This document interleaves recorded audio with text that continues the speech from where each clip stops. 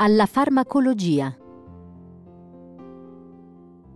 In si angolo di caldo bollente, ove ogni respiro mi era dolente, concentrai mi dovetti su doloroso male.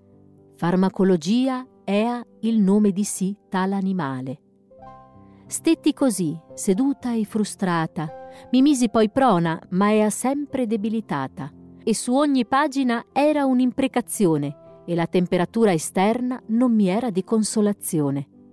Mi giravo così per ogni stanza, confusa, infelice e in attesa di istanza, istanza che ormai non parea venire e alla qual io non potea sopperire. Giravo così, in lungo e in largo, come Amleto indeciso sul mortal letargo, con il libro in mano che non mi era di consolazione, aspettando così la meritata cessazione. Sempre più pazza in me diventai e in strane gesta poi mi cimentai. Euforia e tristezza avea in sinergismo, quasi affetta da un raro bipolarismo che mi condusse a far matte gesta, ove i miei neuroni impazziti andavano in festa.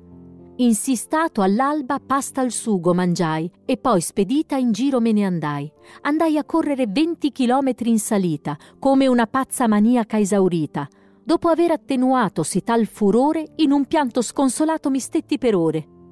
Quando poi scrissi canzoni di ormoni danzanti, capii che mi facoltà ean lungi dall'essere altalenanti, ma era ormai tardi per porvi rimedi, e costretta fui a sopportar, in silenzio, l'infernal tedio.